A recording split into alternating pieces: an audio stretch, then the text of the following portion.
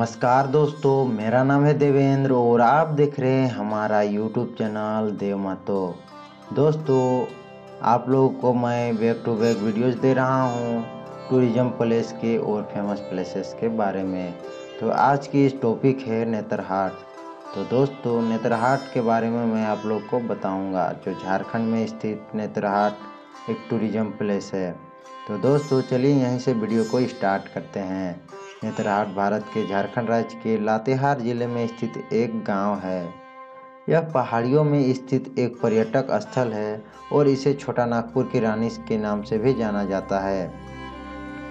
नेतरहाट को पहाड़ों की मलिका के नाम से भी जाना जाता है दोस्तों।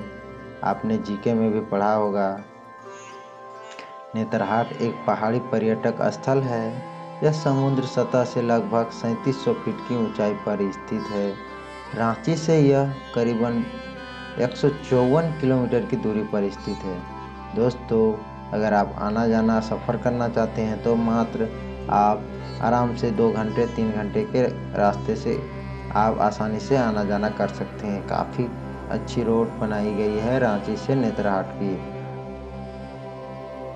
तो दोस्तों, प्रकृति ने नेत्रहाट को बहुत ही खूबसूरती से संवारा हुआ है। यहाँ पर लोग सूर्योदय और सूर्यास्त को देखने आते हैं।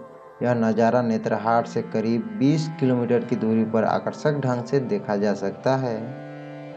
इसके अलावा, यहाँ घाघरी एवं लोअर घाघरी नामक के दो छोटे छोटे जलप्रपात भी हैं, जो प्रसिद्ध स्थल है।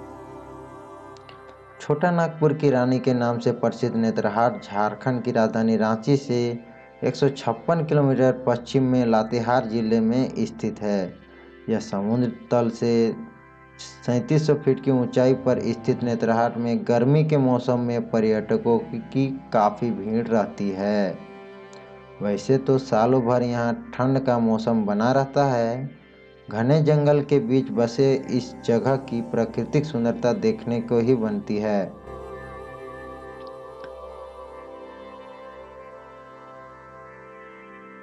पर्यटक यहाँ आने पर प्रसिद्ध नेत्रहाट विद्यालय, लोध झरना, ऊपरी घाघरी झरना तथा निचली घाघरी झरना देखने नहीं बोलते हैं।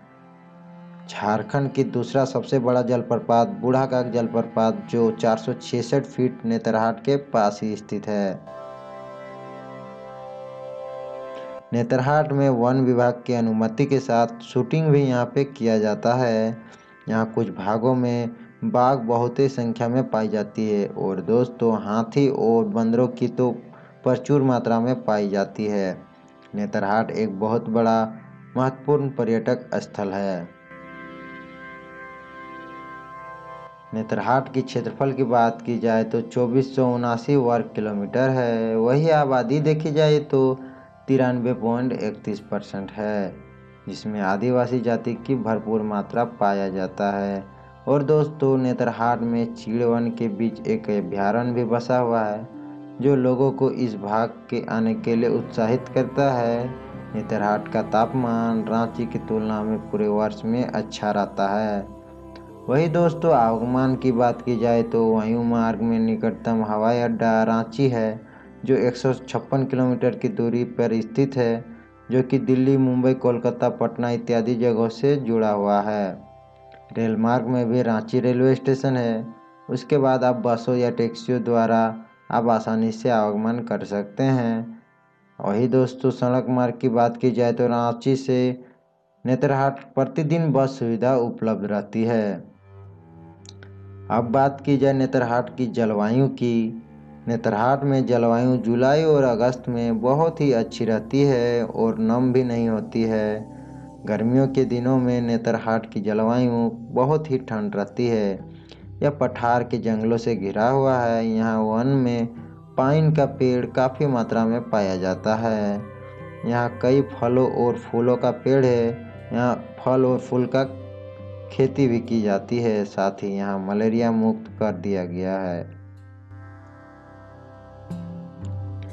अब बात की जाए दोस्तों नेतरहाट में नदियों की तो नदिया का मुख्य धारा उत्तर से दक्षिण की ओर सोन नदी की ओर है, जो सीमा में उत्तरी भाग के ज़िले में है। प्रमुख नदी कोयल और उसकी सहायक नदी औरंगा और अमानक है। ये नदियाँ पहाड़ और पत्थरों से होकर गुजरती है।